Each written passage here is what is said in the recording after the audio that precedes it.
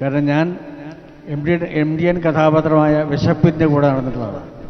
അദ്ദേഹത്തിന്റെ ഒരുപാട് കഥകളിൽ വിശപ്പാണ് കഥാപാത്രം. ഞാൻ റെയിൽവേ സ്റ്റേഷനിൽ കിടന്നുറങ്ങുമ്പോഴും ആണ് കരയുന്നപ്പോഴേക്ക് ഞാൻ കേൾക്കുന്നത്. വേറെ ഗതിയില്ലാതെ താമസിക്കാൻ സ്ഥലമില്ലാതെ വലിയ ഇല്ലുണ്ടായിട്ടും അവിടെ നിന്ന് ഇറങ്ങി നടന്നിട്ട് തലശ്ശേരി റെയിൽവേ സ്റ്റേഷനിൽ കിടന്നുറങ്ങുന്ന സമയത്ത് അപ്പോഴൊക്കെയാണ് ഞാൻ പാട്ട് ഓർക്കുന്നത് പാട്ട് കേൾക്കുന്നത്.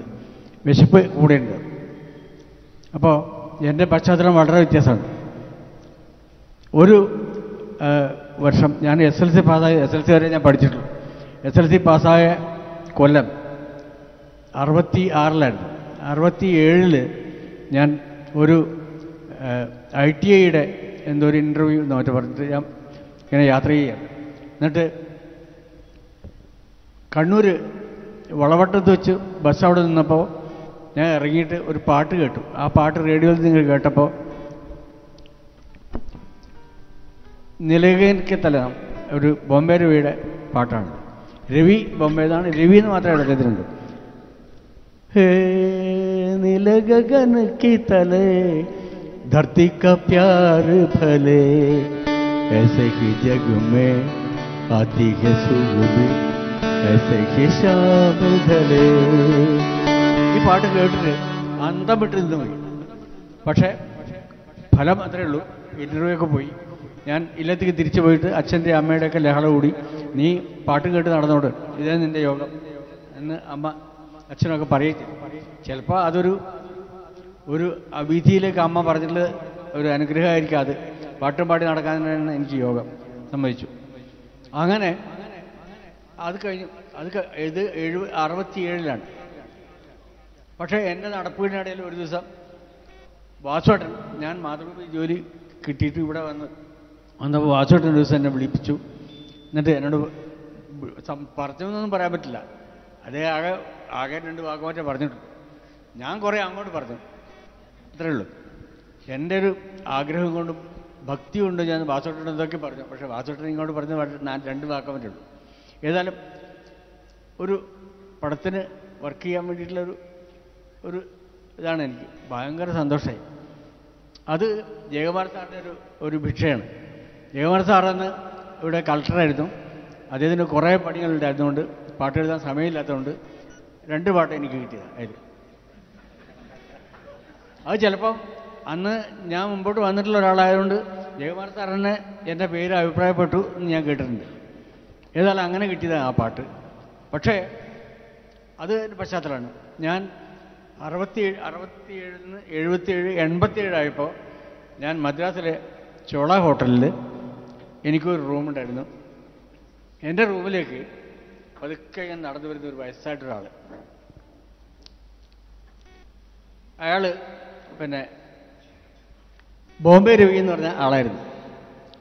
അറുപത്തേഴിൽ എന്റെ പാട്ട് പാട്ട് കേൾപ്പിച്ച് എന്റെ വഴി തെറ്റിച്ച ആളാണ് അദ്ദേഹം. പക്ഷേ എനിക്ക് ബാച്ചോട്ടന്റെ ഇതിൽ കിട്ടിയിട്ടുള്ള പാട്ട് എഴുതാൻ വേണ്ടി ഞാൻ എത്തിയപ്പോൾ ആ അറുപത്തേഴിൽ ചീത്ത കേട്ടിട്ട് ഇറങ്ങിയിട്ടുള്ള ഞാൻ അതേ യോഗം കൊണ്ട് തന്നെ ഞാൻ പാട്ട് എഴുതാൻ എത്തി അതാണ്. അപ്പോൾ ഇരുപത് കൊല്ലം കഴിഞ്ഞപ്പോൾ എനിക്കത് തിരിച്ചു കിട്ടി എന്നുള്ളത് ആ ഒരു ഭാഗ്യമാണ് എനിക്ക് വാച്ചോട്ടൻ വാച്ചോട്ടൻ എന്ന് പറഞ്ഞാൽ എന്റെ ജീവനാണ്. ഇപ്പോഴും അപ്പോഴും അതെ. ഞാൻ വെറുതെ പുറത്ത് പറയുന്നതല്ല. ജീവിതത്തിൽ ഞാൻ കണ്ടെത്തിയിട്ടുള്ള ഏറ്റവും മനസ്സിലോട് ചേർക്കുന്ന ഈശ്വര തുല്യരായിട്ടുള്ള മൂന്ന് പേരാണ് എനിക്ക് അത് കഥാലോകത്ത് എനിക്ക് വാച്ചോട്ടനാണ് പിന്നെ ഒന്ന് സംഗീത ലോകത്ത് ദാസേട്ടനാണ് ഒരാൾ പിന്നെ ഒരാൾ ശാസ്ത്രീയ സംഗീത ലോകത്ത് ബാലമുരളീകൃഷ്ണൻ ഇവർ മൂന്ന് പേരെ കവിഞ്ഞിട്ട് എനിക്ക് വേറെ ആളുള്ളൂ അതിൽ അഭിമാനപൂർവം ആ പാട്ട് എഴുതുമ്പോൾ ഞാൻ ആലോചിച്ചു.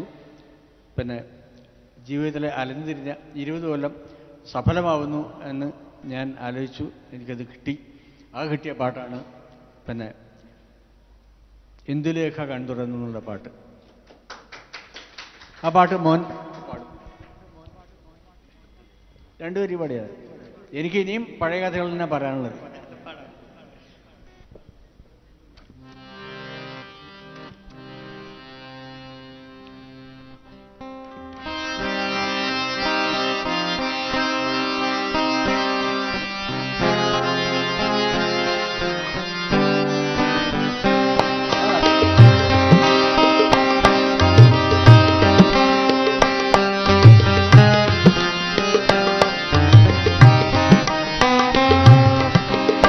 ഇന്ദുലേഖ കൺ തുറന്നു.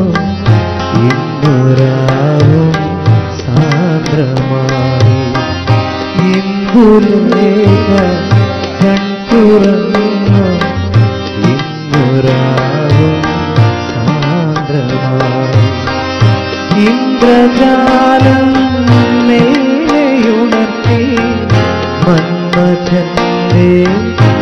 പേരിലെ ഇന്ദ്രജാലം മേലെയുണർത്തി മന്മഥന്റെ പേരിലേക്ക് ഇന്ദുലേഖ തുറന്നു.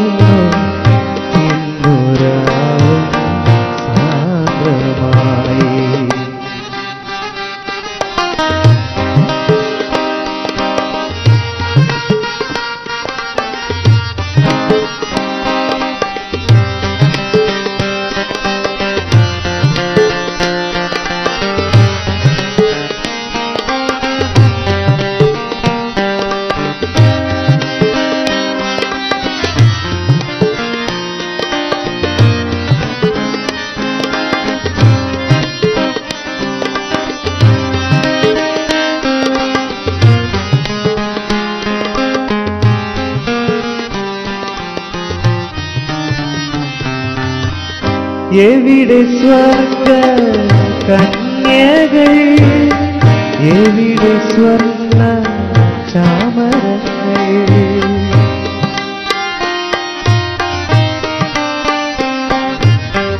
എവിടെ സ്വർഗ കന്യകൾ എവിടെ സ്വർണ്ണ ചാമരങ്ങൾ